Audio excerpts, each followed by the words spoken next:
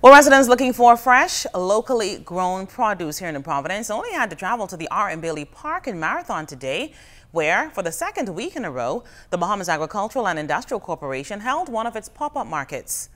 Assistant Manager in BAIC's Corporate Communications Department, LeVar Miller, says the organization wanted to host a market in a central location, and he describes public support of the market as overwhelming We appreciate the fact that Bahamians are taking the initiative to eat healthy um, and to support our local farmers. You know, this is, like I say, an economic stimulus, so to speak, for those family island farmers um, and small farmers who may find it difficult to find that market to, to um, sell their produce.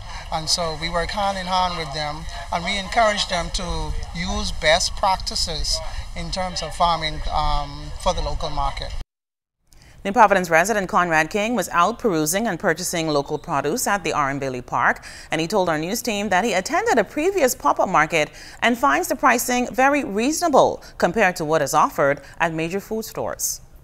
I saw this advertised on social media and I wanted to come out and give my support to all of the local farmers. I think the quality of the produce that are provided are excellent and I think it's great as opposed to going to the uh, grocery store and buying products that are sort of fertilized. I think um, this is all natural, so I think overall this is very healthy. So I need to support the local farmers.